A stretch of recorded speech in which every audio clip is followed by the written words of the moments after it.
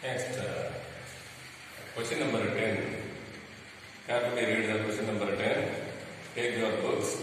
A survey of 1000 farmers found that 600 grew paddy, uh, 350 grew ragi, 280 grew corn, 120 grew paddy and ragi, 100 grew ragi and corn, 80 grew paddy and corn. If each farmer grew at least one of the above three, then find the number of farmers who grew all the three.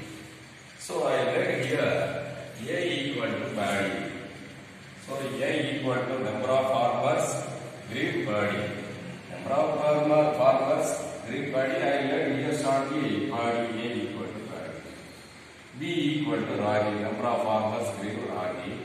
So let the C equal to number of farmers grew corn. So you shortly paddy, ragi, corn. A, B, C. So carefully once again you read the question. A survey of thousand farmers found that 600 grew paddy. I let paddy equal to A. So N of A equal to 600.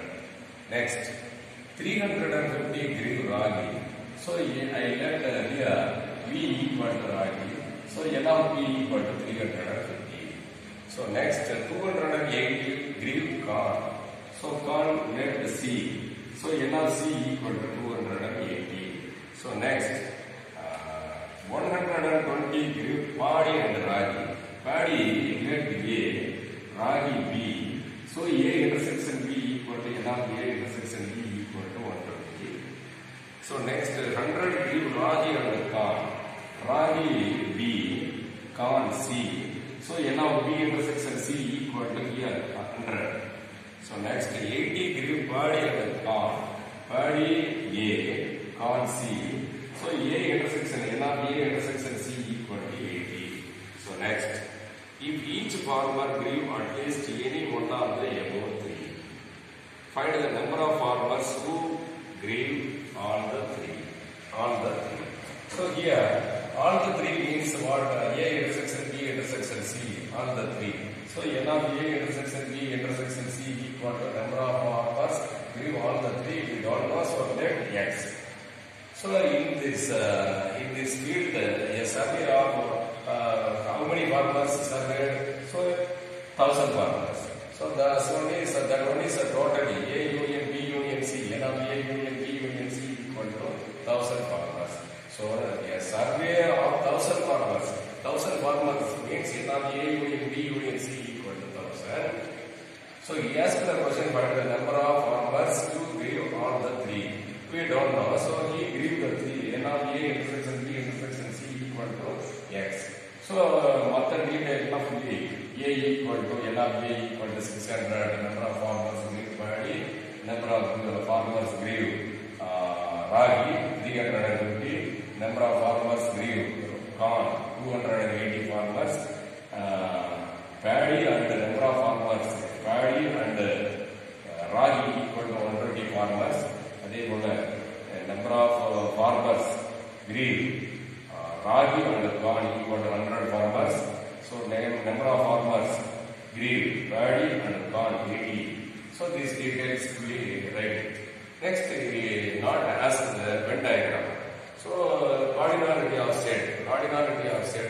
This one is N of A union B union C.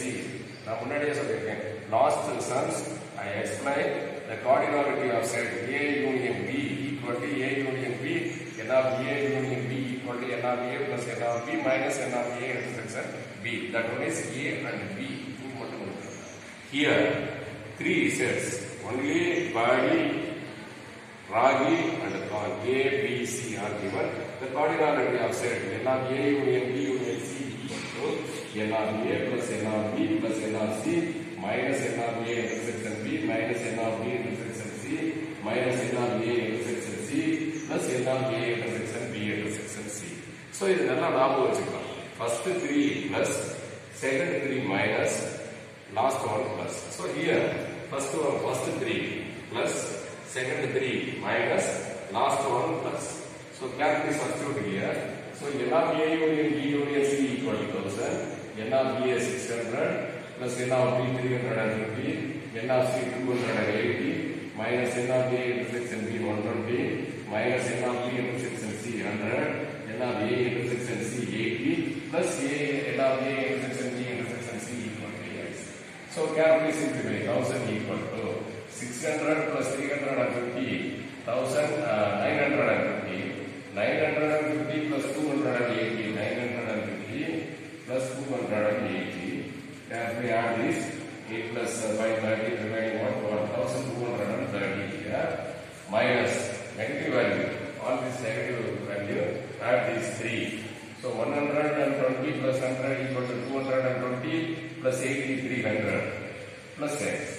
So here 1000 equal to 1230 minus 300 equal to subtract here 300 subtract 0 3 1 minus 3 9 so 930 plus x so here 1000 plus 930 come this left hand side equal to minus 930 equal to x so carefully subtract here 1000 minus 930 equal to 0 10 minus 3 is 7 9 minus 9 0 not necessary to write inside of the uh, before the 70 equal to 0 x equal to 70 so x equal to write here a intersection b intersection c. A intersection b intersection c equal to what? Number of farmers grew all the three. So therefore 70 farmers grew all the three all of you understand it this one is uh, very very simple இதனால இந்த question அதெல்லாம் படிச்சுட்டு வந்து இந்த details எல்லாம் நீங்க எழுதிட்டீங்கன்னா so கார்டியாலிட்டி of செட்டை நீங்க சப்ஸ்டியூட் பண்ணீங்கன்னா directly you get finally you get the answer 70 x equal to the correct answer a intersection b intersection c equal to the number of farmers grew on the three equal to 70 farmers therefore he asked the question how many farmers grew on the three so therefore 70 farmers grew on the three. Okay wow. Love you understand it? Next